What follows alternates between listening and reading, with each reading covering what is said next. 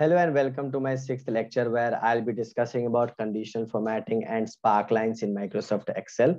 Okay, so I'll be sharing my uh, screen and you'll have an Excel sheet over here, uh, which contains the data for, uh, for the month of June, July, August, and September okay? The, if you can see this is an error percent data like say for example some uh, a qa guy must have must have reviewed the data and he must have found some errors. And on that basis he has recorded the the error percent for uh, for all these months okay?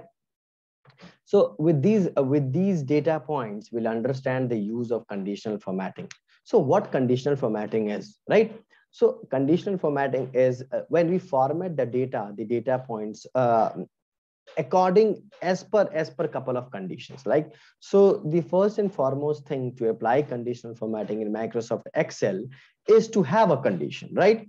So the condition uh, the condition that i have decided for now is like say for example if my error percent is is 5% and less i'll mark it as green. If it is between 5 to 10 i'll mark it as yellow. And if it is more than 10% i'll mark it as red.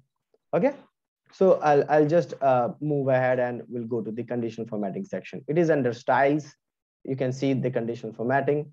Go to highlight cells rules, the greater than value.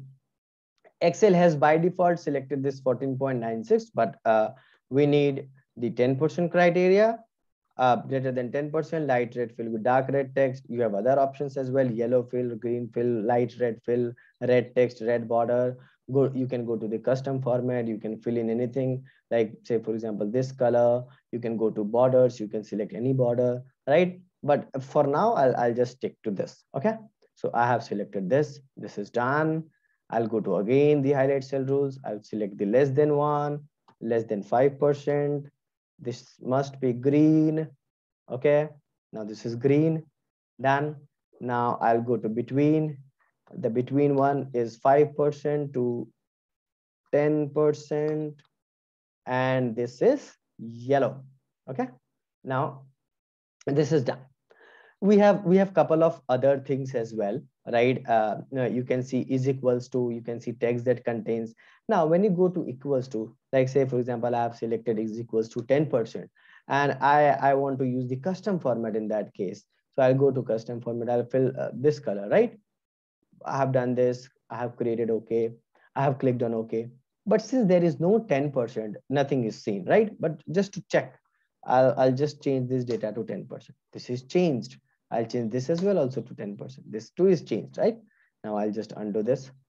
So uh, this was this was regarding um, regarding the is equals to one, and uh, then we have we have a couple of other things: a text that contains duplicate values.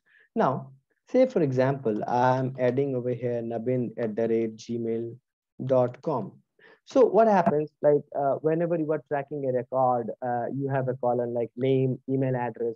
At times what happens, like in the, in the name section, we type in the email address. This happens. And if the sheet is too large, we are not able to see. So at the time of QC, what we go and do, uh, I'll go, I'll go to the name column. I'll just select the column um, and we'll go to the conditional formatting text that contains i'll just uh, check okay is there any rate right? I'll oh yeah it is. So i'll go and delete this.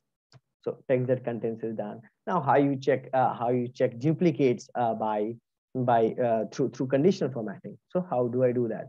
Uh, like say for example i have copied this uh, i have mentioned this name twice but i don't see that. I don't see that right? So how, how do I check through conditional formatting? I go to highlight cell rules, duplicate values, to do, yeah.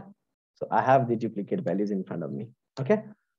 So this was um, this was all about uh, all about conditional formatting um, on the basis of couple of conditions. How do you see duplicates? How do you find uh, the text that contains them at the rate hash, whatever like um, a text that contains Nitish, a text that contains Akmal, and a text that contains Kumar. You can go and check um, all of that all of that through the conditional formatting. Okay? So uh, this was this was how you represent the data and send send it to the upper management. Now uh, for the analysis purpose uh, this too is done for the analysis purpose but but for pretty close analysis we uh, we uh, we do also use conditional formatting. And how you use that we will learn this over here. Okay? I'll just hide all of this control zero this is hidden.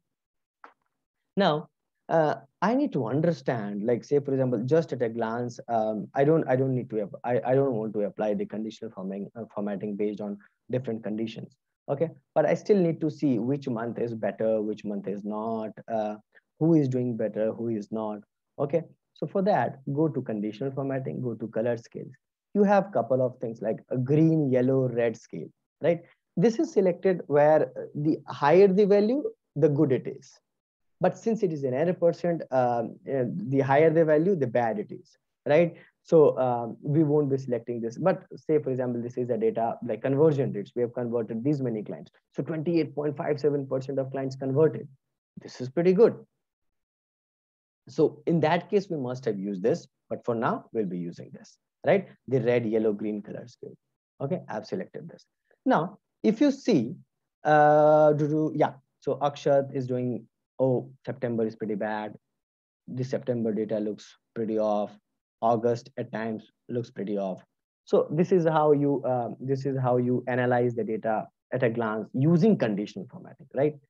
The better way to uh, analyze the data, like we have only how many factors? Five, four, only four months data.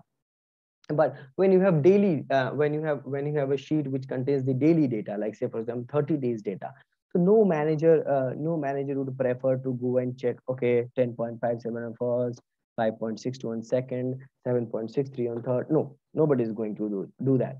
So better, better create spark lines for that. So how, how the spark lines are created? You go to the insert tabs. There is a spark lines category. Okay, you click on line. Now the data range. So I want a spark line for Akshat Sharma. Okay, so the data range will be this, right?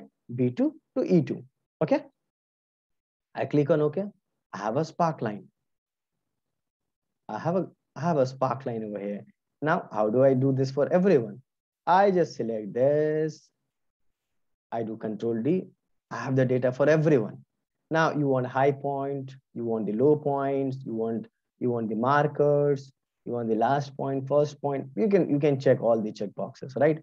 Now see why do i need to see this? Like why why i'll go and check this this data right? One by one. I won't do that. I'll just see okay uh, this is good this is good improving. Oops bad. This is good this is this is bad this is good. Again again it has decreased now, if you see this one, the error rates has increased over here and it has come down again, which is pretty good. So it helps in the analysis, like why it has gone up in the month of September, why it was down in the month of in the month of June or July. So uh, it, it helps you understand the reasons and it helps you understand the why. Okay, so for the data analysis purpose, Spark Lines is so small, right? It's so small, but it's so valid it's so useful. You just send this to your uh, manager. They, they won't they won't look at this. No they won't. They'll just check this and they'll ask you questions. Okay give me an answer why uh, why Priyajit uh, was was uh, was so bad at august and improved in in the month of september and why akshat was so good in in in, in the month of july and then again he decreased in the month of september.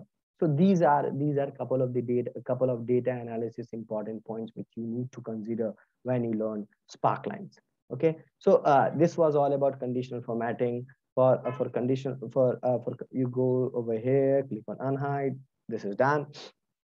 How do you like how do you find the duplicates? How do you how do you find the text that contains? How do you how do you uh, format the data on the basis of condition?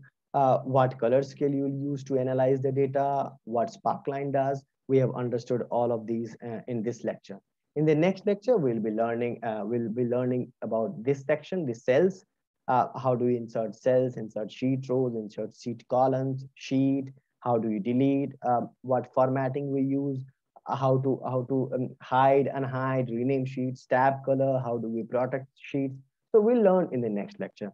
Till then, um, till then, um, stay tuned to my channel and yes, do not forget to subscribe and like all the lectures that I'm uploading. Thank you so much. Bye bye. Have a great day. Bye. Take